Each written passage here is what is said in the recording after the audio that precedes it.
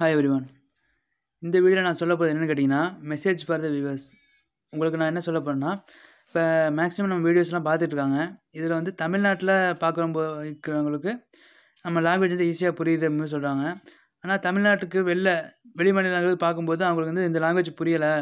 அதனால் இங்கிலீஷில் சொல்லுங்கள் அப்படிங்கிற மாதிரி கேட்டிருக்காங்க.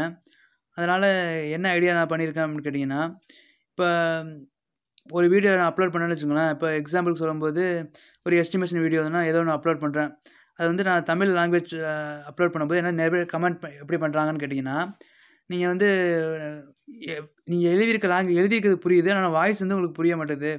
அதை என்ன பண்ணுங்கள் இங்கிலீஷில் இங்கிலீஷில் கமெண்ட் பண்ணுங்கள் இங்கிலீஷில் கமெண்ட் பண்ணால் எல்லாத்துக்கும் புரியும். அது வந்து நம்மள யூஸ்ஃபுல்லாகவும் இருக்குங்கிற மாதிரி கேட்டிருக்காங்க.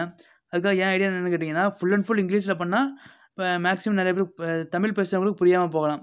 அதுக்காக ரெண்டு லாங்குவேஜ்லேயுமே வீடியோ அப்லோட் பண்ணலாம் அப்படிங்கிற மாதிரி இருக்கேன்.